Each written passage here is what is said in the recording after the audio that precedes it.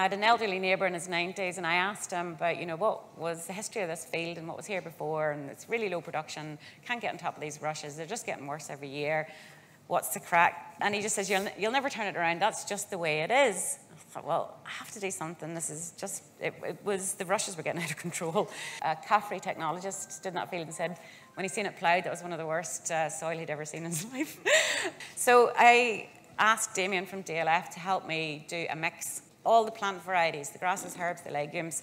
So I did, uh, he advised forage rape as a quick grower to help outcompete the rush coming back up. But when I seen um, at Groundswell that picture of what the rooting system of forage rape looked like, I was like, yep, I want to try that. And I coated the seed with vermicast, and then last minute, I just chucked a whole lot of dry vermicast in it. The contractor decided it wouldn't go through his air seeder uh, because of the sunflower seeds were so big. He came with a wagtail and he told me as well, not, don't put the vermicast in it because that might make it stick. when he wasn't looking, I chucked it in. I was like, I need as much biology out there as possible to give, help this.